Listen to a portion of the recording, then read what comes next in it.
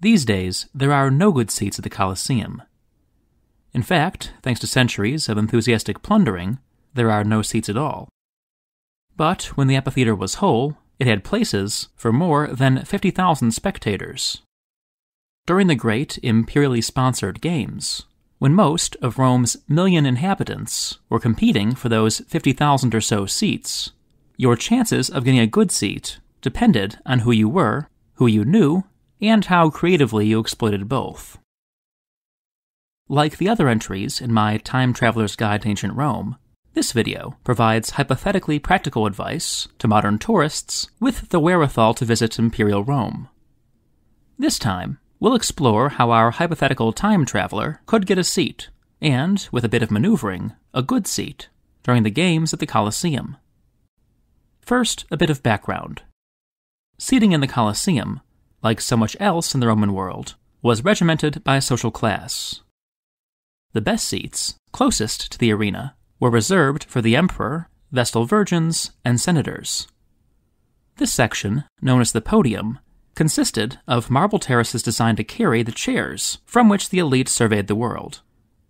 Every spectator in this privileged tier was attended by at least one slave, who would carry their chair, shield them from the sun, and serve refreshments. Above the podium was the Colosseum's equivalent of business class, tiers of wide marble seats where members of the equestrian order sat in relative ease and comfort, separated from the masses by a high stone wall. The main seating section was above the equestrians. Here, row after row of narrow marble benches held the bulk of the audience, all male, all Roman citizens, all sweating in their wool togas. These seats were divided into dozens of sections reserved for members of various guilds and associations.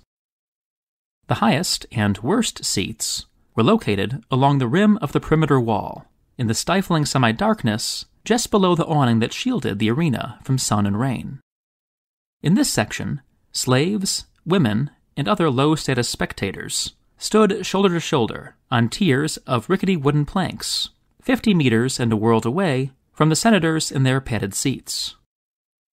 Having reviewed how seating worked, let's move on to practicalities gladiators only fought in the Colosseum about a dozen times in an average year. Time travelers who want to see the arena in action should thus plan their visit to coincide with Saturnalia, when the emperors almost always put on a series of games. Those with an appetite for the truly spectacular should point their time machines toward 80 AD, when Titus dedicated the Colosseum with a series of splendid events, or toward 107 AD, when Trajan staged games that lasted four months and featured no fewer than 5,000 pairs of gladiators. Now, how to get tickets. The tickets used in the Colosseum were known as tesserae. Sometimes, tesserae were lead or ceramic tokens. Often, they were just shards of pottery. Whatever form they took, they showed three numbers gate, section, and row. On the day of the games, a spectator showed his tessera to an attendant, who directed him to the proper gate. Ushers in the stands ensured that he sat in the proper section and row. The games held in the Colosseum were free. Tesserae, however, were in limited supply. They were not sold. Instead, they were given in blocks to important individuals and guilds. These men and organizations could then distribute them as they wished to friends and clients. Time travelers looking to get their hands on a tessera have a few options.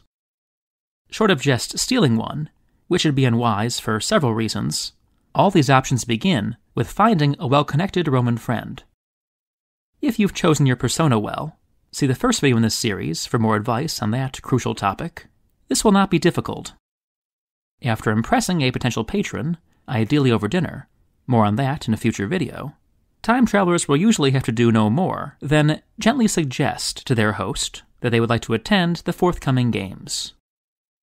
The quality of the seat obtained by these tactics will depend on the identity of your patron and the nature of your chosen persona.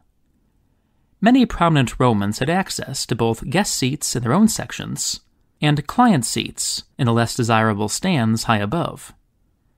You'll only be given one of the cherished guest seats if you manage to convince your host that you are both fascinating and important.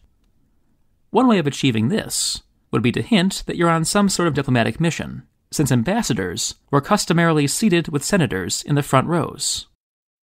A less risky strategy would be to simply present yourself as a person of wealth and distinction in your distant native land, and hope that your patron wants to be seen with an exotic visitor.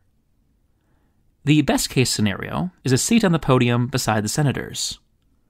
If you manage to pull this off, you'll have a superb vantage point, both for watching action on the arena and for gawking at the Emperor, whose box was located among the senatorial seats. You can also look forward to a comfortable chair, gourmet refreshments, and fine wine.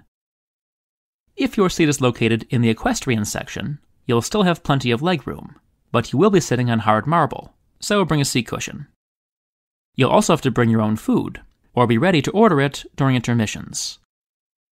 If your host decides that you are not, in fact, important, and relegates you to the main seating section with his other clients, you can count on a narrow place on a narrow bench, where you will be elbowed, kneed, and otherwise jostled for the duration of the games.